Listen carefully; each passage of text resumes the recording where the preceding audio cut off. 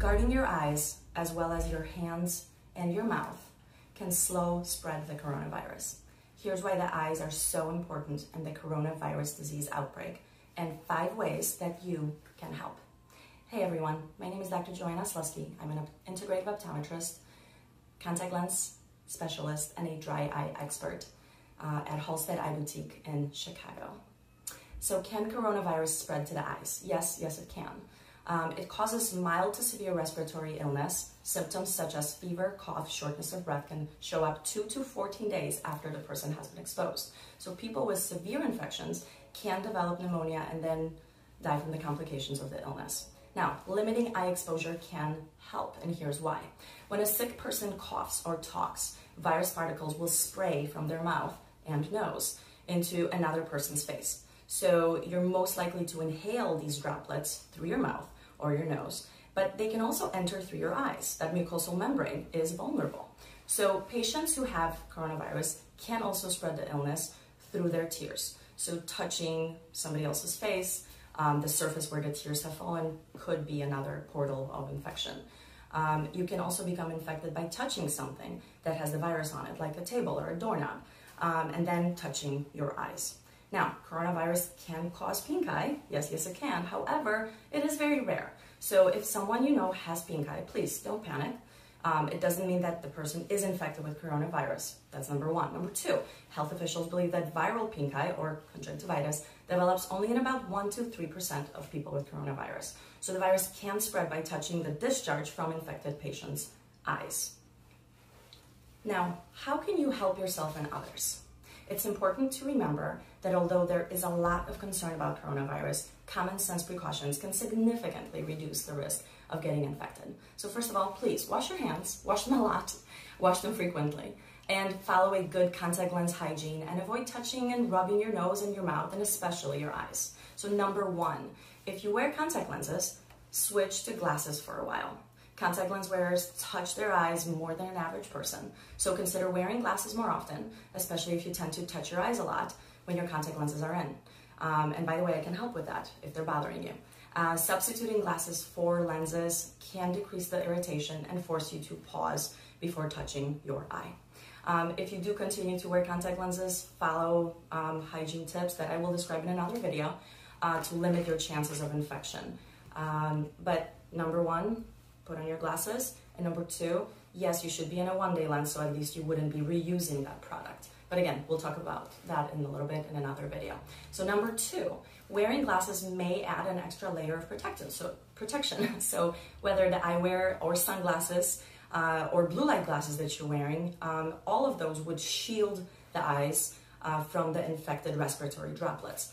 Uh, but they don't provide 100 security, 100% security. Uh, the virus can still reach your eyes from the exposed sides, tops, bottoms uh, of the glasses. So if you're caring for a sick patient um, or potentially exposed to a sick person, um, safety goggles may offer a stronger defense.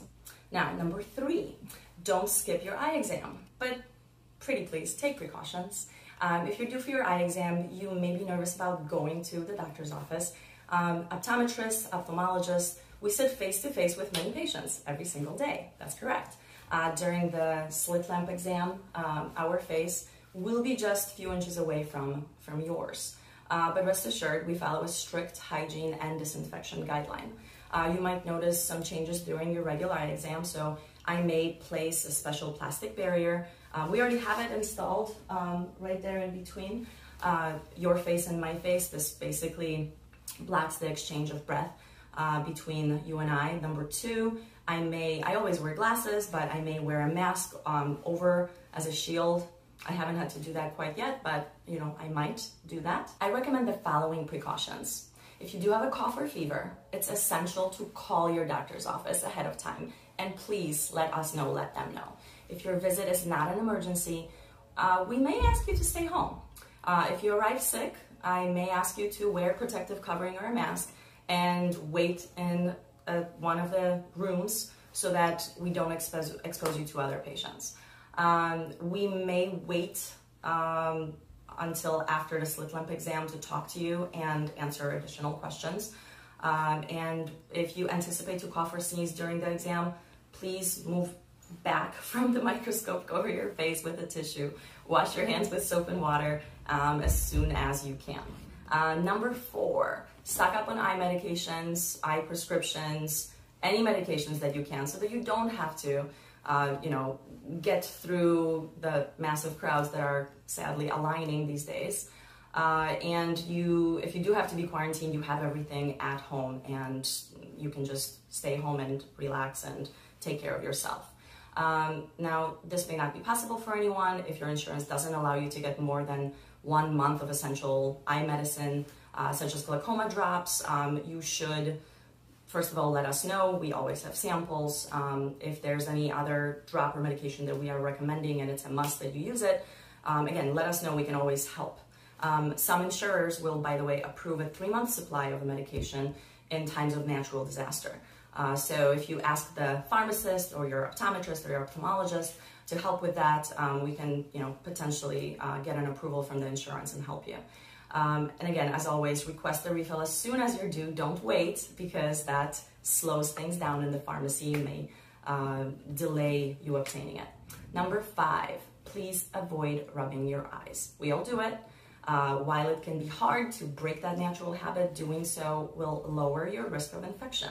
So if you feel the urge to itch or rub or you know do something to your eyes or even adjust your glasses, use a tissue instead of your fingers. Wash your hands. Wash, wash, wash your hands.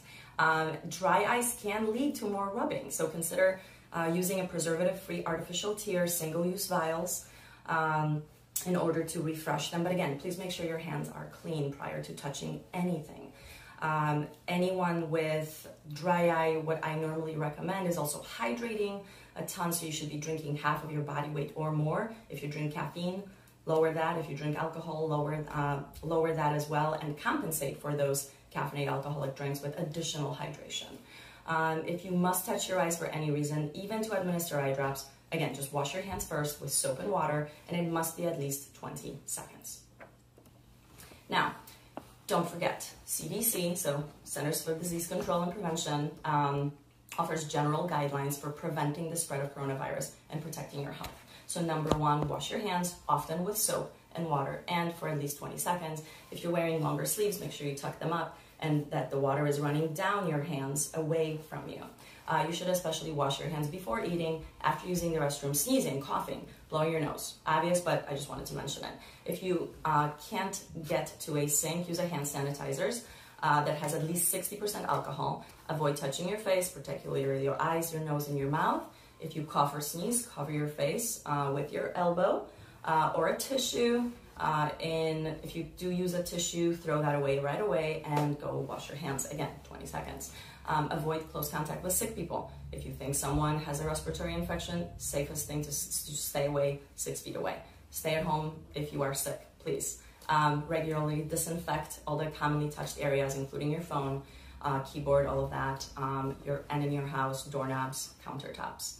And if I can help answer any other questions related to eyes, please feel free to reach out to me. Again, Dr. Joanna Slusky, Halsted Eye Boutique, and I look forward to um, us, all of us staying healthy and seeing you soon.